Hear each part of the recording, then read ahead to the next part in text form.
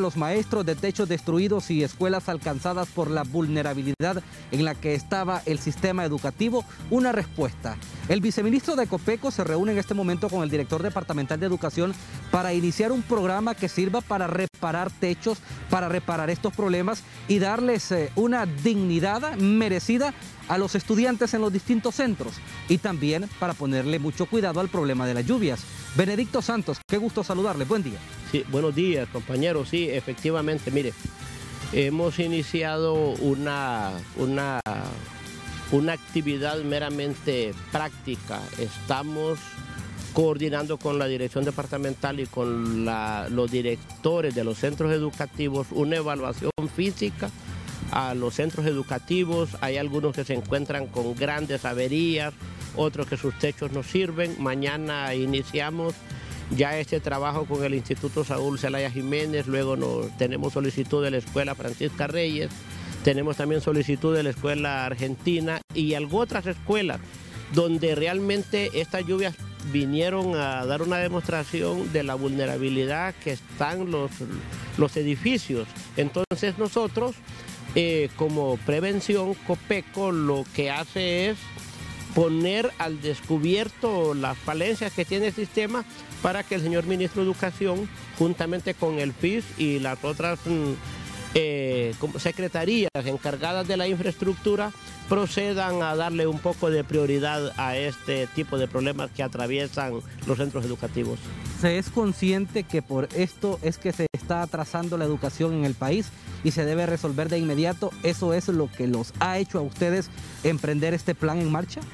Es correcto, mire, no solo se trata de que el niño llegue al aula, sino que, que el niño llegue al aula junto con el profesor en condiciones seguras, ¿verdad? Y no en condiciones donde tiene que estar meneando una silla o un escritorio o un director para poder eh, administrar el sistema educativo o impartir clases.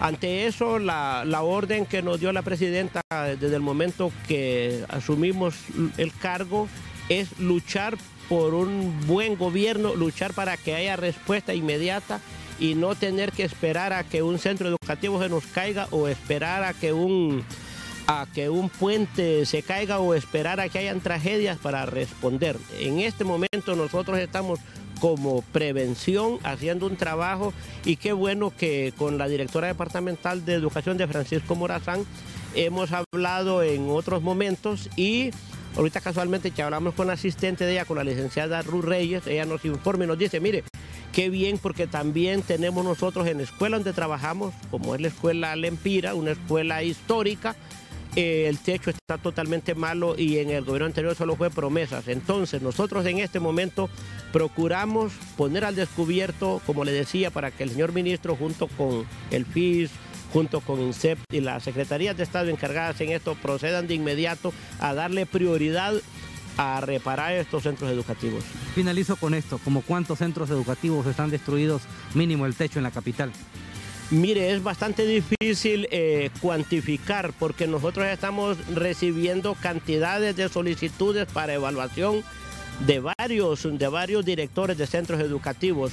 Eh, algunos, eh, producto de las últimas lluvias, fueron detectados, pero sí es la gran mayoría de los centros educativos, yo le diría que por lo menos en un 70, 60, 70% de los centros educativos de, Francisco Morazán, que es donde estamos más cerca, requieren de una atención y de una prevención más próxima. Para eso nosotros al final de, tenemos meta que al final, ¿cómo se llama? Del mes de mayo tengamos un buen reporte de cuántos centros educativos hemos hecho evaluación y serán ustedes los primeros en, en darle a conocer al pueblo hondureño de que sí estamos trabajando.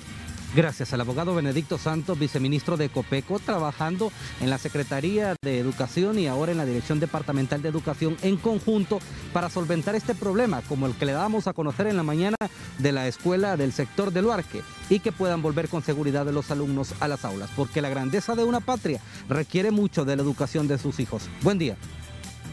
Gracias, gracias Bridele Uceda. Continuamos con más información.